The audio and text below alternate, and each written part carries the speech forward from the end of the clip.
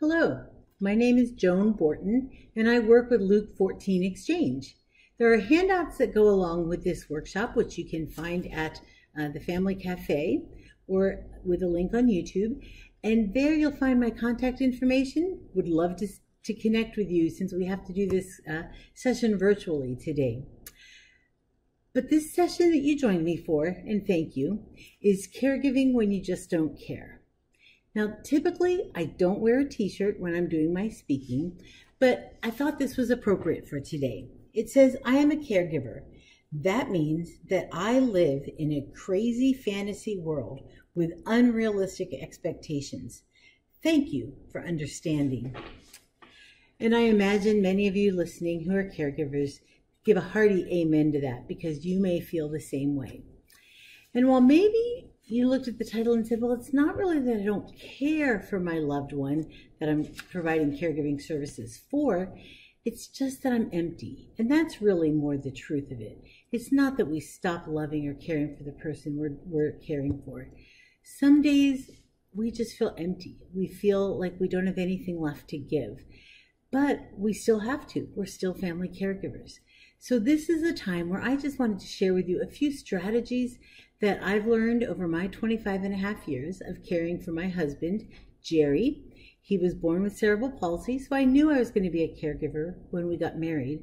I didn't think it was going to be any big deal because I had been a paid professional caregiver in a number of different situations prior to getting married. So I thought, oh, I've got this down. I know what we do as a caregiver. Well, as you may know, the difference between a paid professional caregiver and a family caregiver is really a, a different ball of, of wax, as the saying goes. You know, at the end of my shift as a paid caregiver, I went home. But as Jerry's fond of saying, at the end of the day, you get to take me home. You know, home is wherever I am with him, and my role as a caregiver doesn't stop. Now, I know 25 years that I've been doing it's a long time, but for some of you, You've been caregiving a lot longer than that 40, 50, even 60 years. Kudos to you. Thank you. But I know that's a long time. And I know that sometimes the struggle of IEPs or ordering new medical equipment, the couple year wait it takes sometimes for that, getting uh, current equipment you have repaired and used well, insurance pre authorizations, waiting on phones for a doctor callback, all those kinds of things they seem like they're never going to end. And they're the things that often wear us out and make us tired and worn. So while I want to provide hope and encouragement, I want us to just for a few minutes camp out a little bit to acknowledge the feelings that we experience as caregivers. I think sometimes we wonder, is this just me or does everybody feel this way?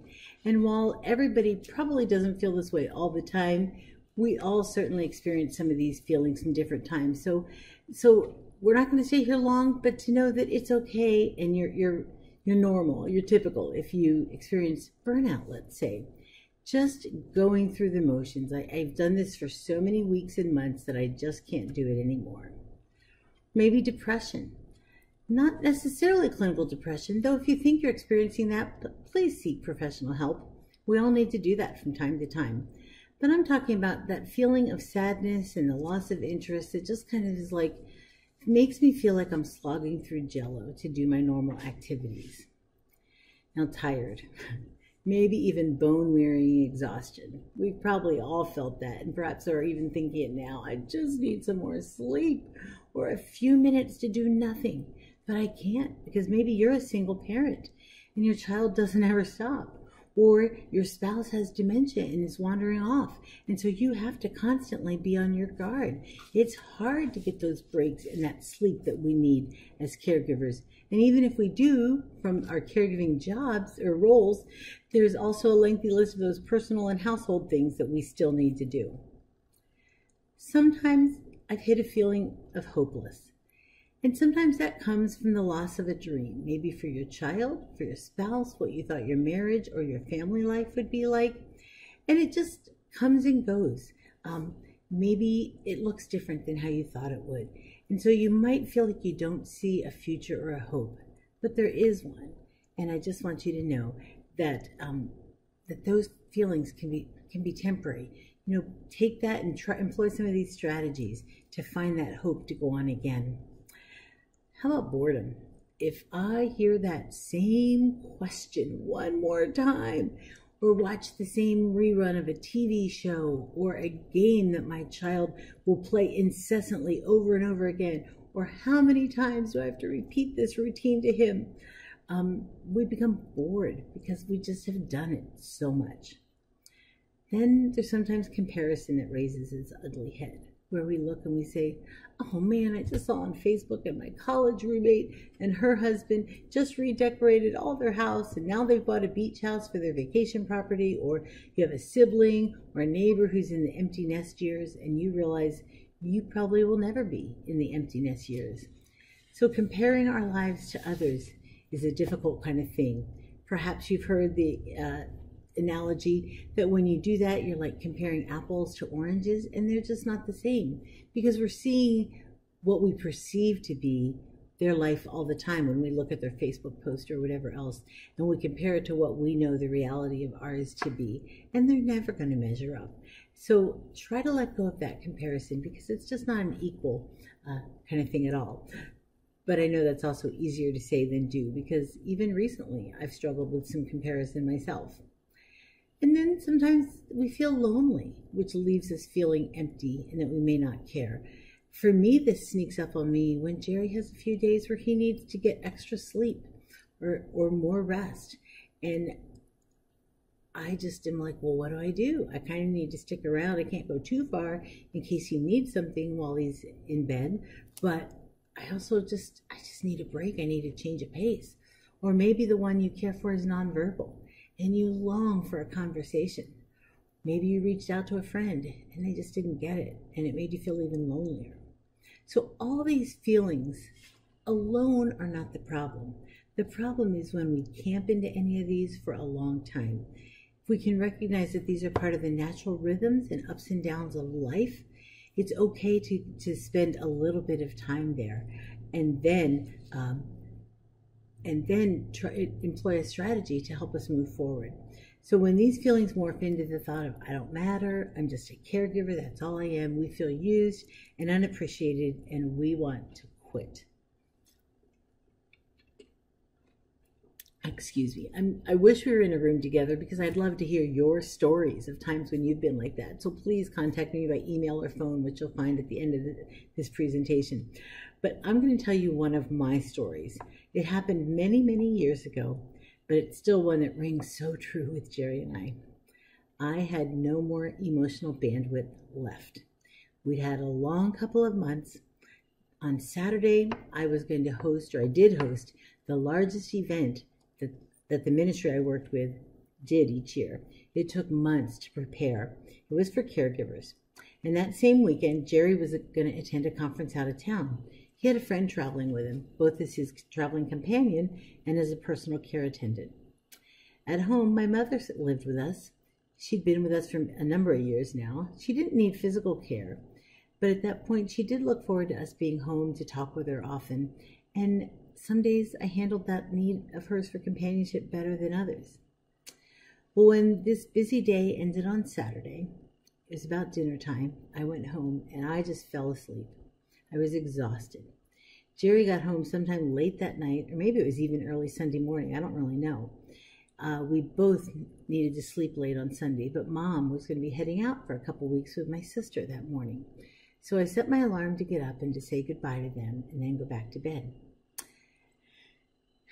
I realized as I went back to bed that while I needed this break from mom, I also was going to be bearing more responsibility because mom managed a lot of the household tasks at that point in our family life. And I didn't even think about how much that was going to add onto my time. But I began to think about it that morning when I had no more emotional bandwidth.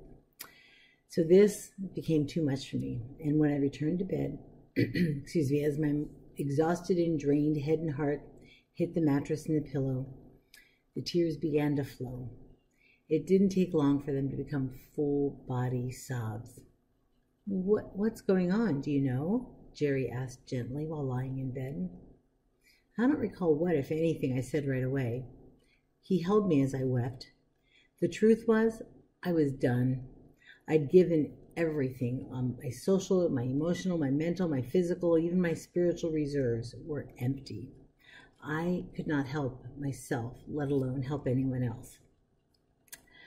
With a deep level of compassion and probably a little fear and trepidation on his part, Jerry calmly said, It will be okay, sweetheart. We'll get through this together. That was the final straw. That last tiny piece of my emotional dam broke loose, and I cried, not in my most loving tone. Sure, it will. It's easy for you to say because you know I'll eventually get up and get you dressed. But who is going to take care of me? Jerry wanted to assure me he would, but he knew this wasn't the right time to offer those words. He wisely remained quiet. Later, he told me he thought, oh crap, she's right. A short time later, I begrudgingly rose long enough to get Jerry out of bed, dressed and in his wheelchair. He asked what I wanted for lunch. I made it clear that I did not care. He could figure it out, and I rolled myself over to go back to sleep.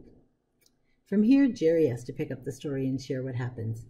He said he put his coat on, went out to his van to get ready to assume that caveman role of foraging for food for his family.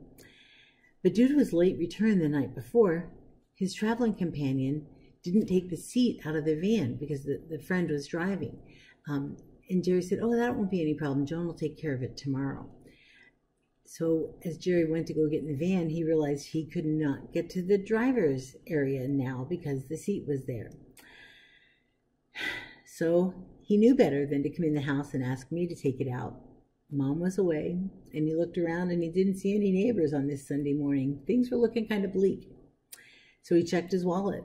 He didn't have enough money to order food for delivery. And this was in the pre uh, days before you could pay for food delivery by credit card. So, considering the options, Jerry started to roll uptown to a Wawa, only the best convenience store on the planet if you're not familiar with a Wawa. But he knew that he could get both food and cash there. So, being a wise man, he filled the bags as full as he could and carried them home with a variety of sandwiches, salty and sweet surprises, and anything else he thought I might like. When he got home, he cautiously entered our room I was oblivious to how long he was gone. Apparently, he told me it was about an hour and a half. Almost as if he were approaching a ravenous den of lions, which I'm sure is probably how he felt based on the way I'd reacted so far. He cautiously tossed the bag of food on the bed and told me I could have any or all of it. If there was anything left, he would eat then, or he'd figure out another plan. I don't even remember now what I ate or if I left anything for him. I only recall that protein, salt, and sweet have never tasted as good as they did that day, and then a long time to sleep thereafter. I can honestly tell you that on the day of my crash, I was a caregiver who just didn't care. For a time, I wasn't even sure if I ever would again. But after some sleep and some distance from the crash point, Jerry and I put a few strategies in place to keep this from ever happening again, or at least to catch it quicker. The first one is that we try to keep our home well supplied. Now, that doesn't mean we ever run out of things for sure, but we try to keep a supply of some cash on hand. Um, we lived up north then, and so sometimes we needed it for somebody to shovel our driveway. Sometimes we needed it because somebody would drop some food or a supply off if I hit a little low point again and Jerry needed to order something and we wanted to be able to pay them. Whatever it might be, having both cash and trying to keep some reserve of some frozen food or something that was easy for him to be able to take out and cook in the microwave has been one way that we've been able to keep at least our family life going uh, as when I hit a point of being a caregiver who doesn't care. The next thing we realized we had to do was we had to build some margin. Okay, we had to choose um, to see. No, excuse me, let me backtrack on this. We needed to build some margin. Okay, we did this in two ways. One is to not respond immediately when I realize I'm nearing the end of my rope and I'm unsure if the knot at the end of that rope is going to hold. I take some margin by saying, I need some time before I can answer that question or respond. Or I say, I need to complete what I'm doing right now for my own sanity before I can help you with what you need done today. Did that just this morning. Jerry texted me that he was awake and ready to get up out of bed, and I said, in the middle of something, I need five minutes to complete this. And you know, in the previous years, I would have just dropped what I was doing, run to help him, come back later to do what I was doing. And that felt very frenzied for me a lot. So certainly if he needs me right away, he lets me know it's an emergency or he can't wait. But otherwise, to say to him, I need a few minutes to say to your child, I'll be there to start that that video game again for you or start that movie stream again or whatever it might be but I need to finish what I'm doing. They may not like it, but they're going to survive for a few minutes, most all, often all the time. If you can just put some time in to say, I got to take care of my need right now for just a few minutes. The other margin we build in is around our schedule and travel. We're learning more to say no to things that run us back to back to back to back. We just, as we get older, we don't have the time and the energy to be able to keep rebounding as quickly as we need to just do a never ending schedule. So we now try to block at least one morning a week that we can sleep in if we need it. If we travel for business on a weekend, we try to make sure that we take a Monday or, or one other day that week at least off so we have a little bit of change. Even we do this for medical appointments. Sometimes it's good to plan a day of medical appointments if they're all at the same place, but other times, if we have a week with just a couple appointments and somebody else wants to schedule, we say no, we'll need to go to the next week because we just know we need some of that margin. And that margin is both healthy for him, but it's healthy for me as a caregiver to be able to have some time for myself or just time to take a breath and not be racing all the time. You know, we also try to avoid extremes. I'm not always good at this. This story, though, hit me, or th this concept hit me when I was reading a story in the Old Testament in the Bible in Genesis 25. It's about Esau. You know, two of the extremes that I hit most often are ones that, that Esau hit being hungry or angry and being exhausted. One of those two combined with my being my being angry with when I'm either really tired or when I'm uh, exhausted or, or hungry, excuse me, really make for a fatal flaw, and they did for Esau. The story goes that Esau spent the day hunting. It was something that he excelled at. But by the time he returned home, he was famished. He thought he was going to die. We've all said that, right? I'm so hungry I could die. Well, that's what Esau thought. We need to watch out when those things happen. Because by allowing himself to get to the point of being beyond hungry, Esau made a rash decision. In an effort to a full disclosure, there were a lot of other dynamics happening at the same time in this story. But isn't that how life goes? There's always a lot of things happening at once. Okay, it's rarely just one thing that trips us up. But as Esau came back from hunting and was famished, he came across his twin brother Jacob, who was enjoying some stew. Now, Esau was the older twin, Jacob the younger twin. The sight and the smell of that stew just enticed Esau and he asked for a bowl. Jacob's response to his brother was that he would be glad to give him a bowl of stew if he would trade it for Esau's birthright. That was his role as the oldest brother and the future inheritance that would come his way.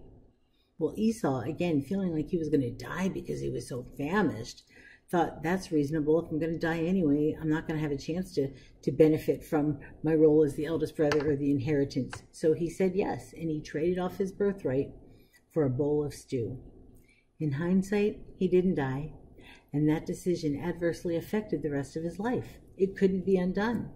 The effects of his decision even overflowed to others in his family and in his community. That story is a really good caution for me. Esau and Jacob's lives changed forever by a rash decision that Esau made when he neglected self care. When I lack margin, or I'm hungry, tired, or cranky, it's a clue that it's time for me to take a step back and take care of myself before I make any critical decisions. Life and those around me will look different after I have a satisfied tummy, a rested body, or I've taken a walk around the block. When we live in the extremes, we're prone to make poor decisions. Another strategy would be to adjust your perspective. Okay? When I think I can't do the same routine one more day, let alone for another 20 years, I tell myself I don't have to do this forever. I just need to do it one more time. Often, by the time after that when I'm needed, I've been refreshed enough to be able to do it again without feeling like it's such a burden. Thinking of anything that's going to go on forever is mind boggling.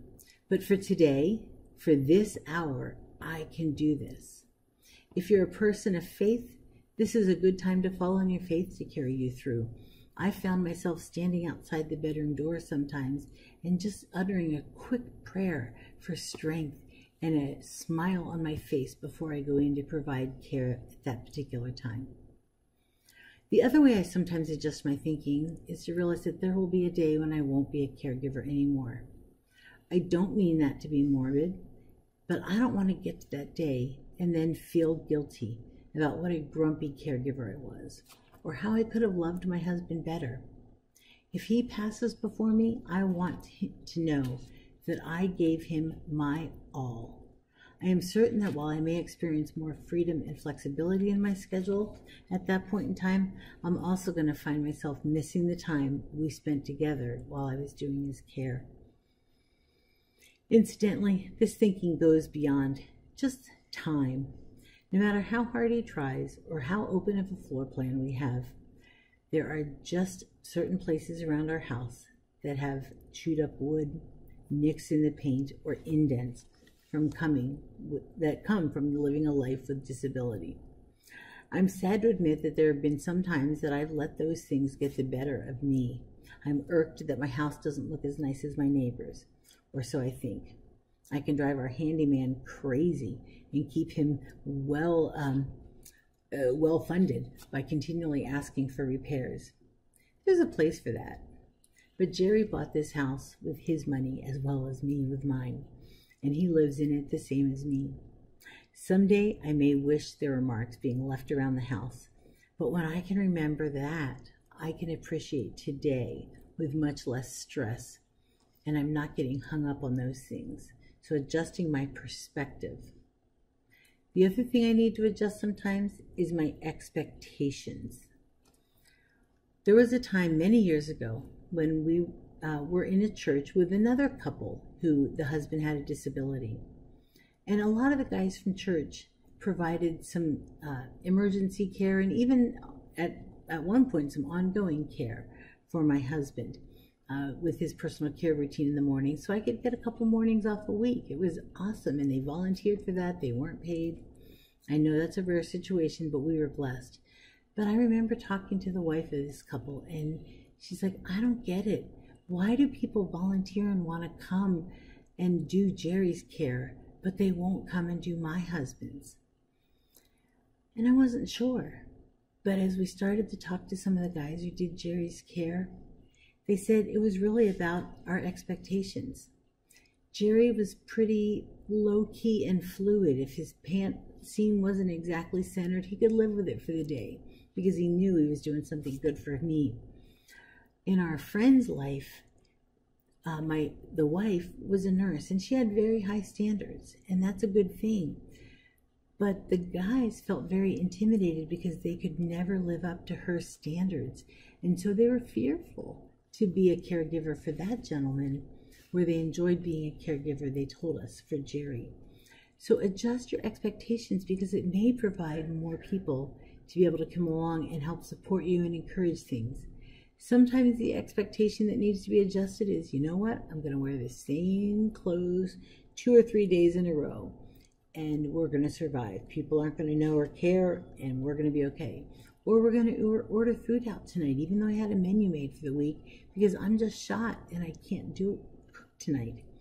Or saying, you know what, peanut butter and jelly sandwiches or a fried egg sandwich, that's a perfect dinner for tonight. So adjusting our expectations.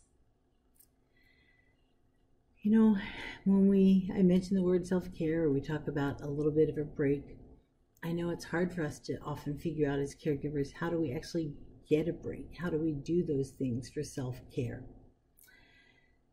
So, the next strategy is really to sit down and figure out what is the break or what kind of self care can you get?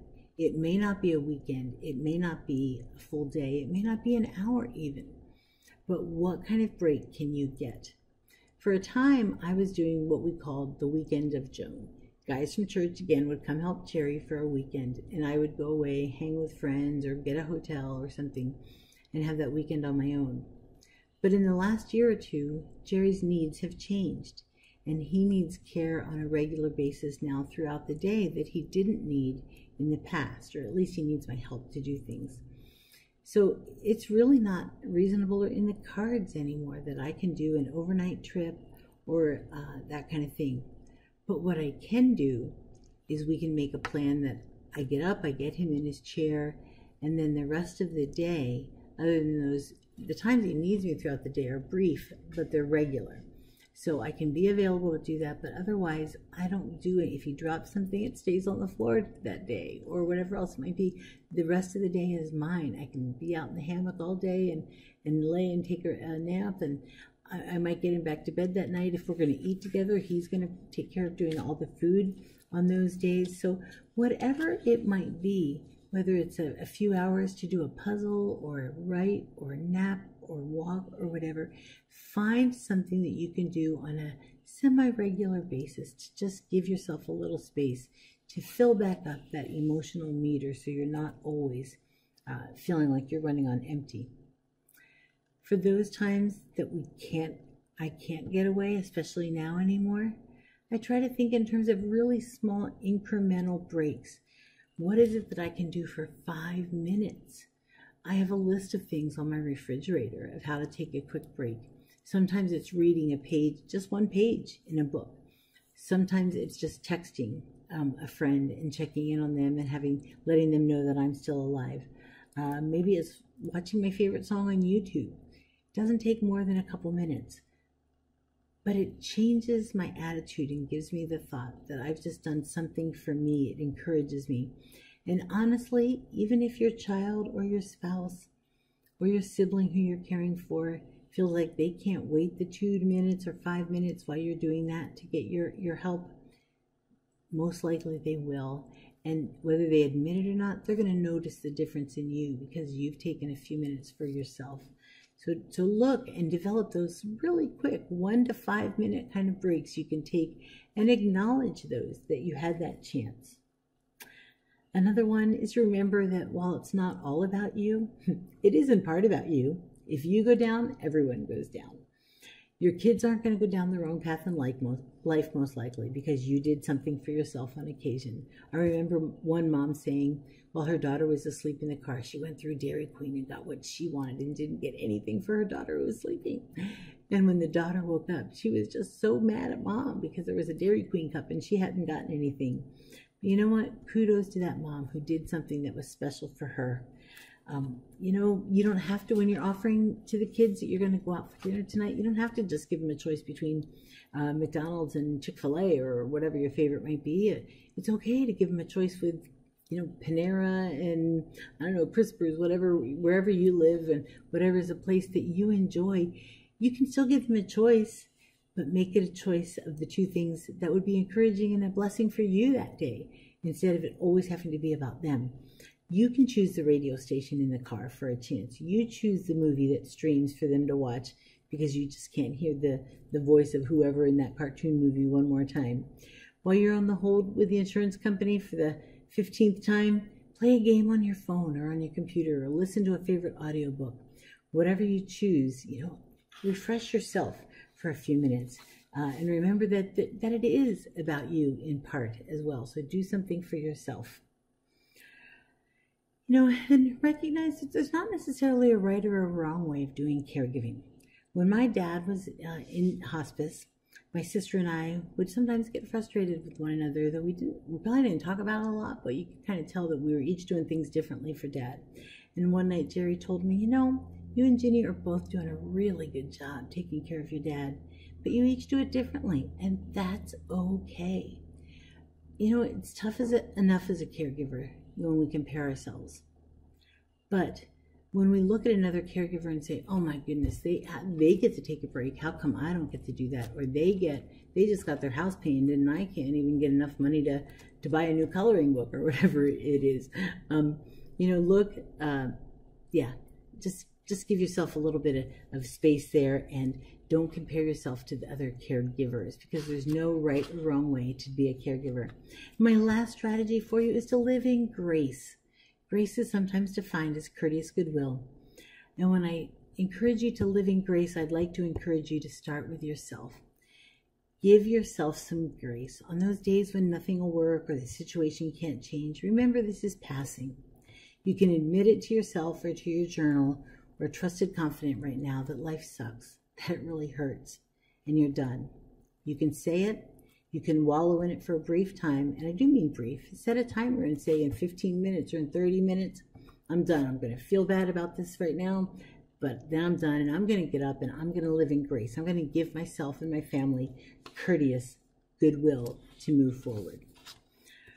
You know, I just want to say a couple words to friends who may be listening who are also um, who maybe don't have somebody they love who's a care who, who they provide care for, but they love a caregiver friend of theirs you know, a lot of times we're just not sure what to do as being a friend of a caregiver. We hear stories and we think it, it, can't possibly be that hard. Aren't there lots of places that you can get services from or do this or that or, find help? I'm just here to tell you it's really not that easy to be um, to get services or do those kinds of things. Um, there, there's just more that we need than what people can provide. So here's a few things you can do, friends, for us. Be present. Just hang out with us, even if it looks like you don't have any time to, to talk or do anything, but just having somebody else around just is a lift to my spirit. Invite people to come to your house, to your events that you go to in your community. Um, be okay inviting them to church knowing that the kid's going to make a little more noise be okay uh, inviting them to a pool party where maybe think people are going to get splashed more or whatever else is going on. But invite people to become a part of your circle and welcome them in. Listen to what's going on. Really listen to the caregiver's heart. And try not to do it with a judgment, but just be able to listen and let go because they just need to be able to, to blow off some steam sometimes. Offer to learn the routines that they have going on and then offer to help. excuse me, and then know, realize that there are things that you don't know and you probably never will. And that's okay. But try not to, to present yourself as the expert in their life from what you've seen from the outside. Know what you don't know and just encourage your friend there as they as they caregive throughout the time. But we need you, friends. So please don't run away or leave us because it looks scary or hard. We need you there in our lives. Well, I'm going to wrap up this session by introducing you to my handsome husband, Jerry, and inviting him to have the last word. Thanks for joining me, and I do encourage you to please get in touch with me. I, I'd love to hear your story as a caregiver. I'd love to hear your story as a friend of a caregiver. So give me a call or email me at joan at luke14exchange.org. So here you have my husband, Jerry Borton. Hi, my name is Jerry Borton. I'm married to Joan. Uh, also work with her at Luke 14 Exchange.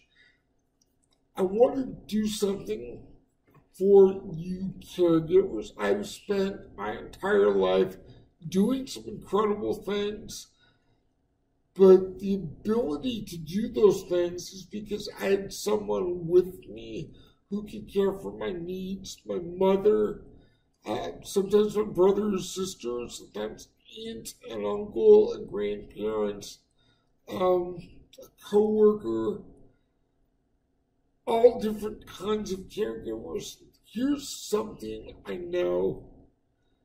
Not every individual who needs and receives care think, to say thank you. Not everybody who needs or receives care is able to thank you or remembers to thank you. So, would you do me the honor of thanking you for them? Because of your care, our world is much, much brighter. Because of your care, we're able to be less isolated. Because of your care, we have the opportunity to become who we actually are. So, thank you. It means the world to the person you're caring for. And by the way, it means the world to those of us at Luke 14 Exchange. Let me say it one more time. Thank you.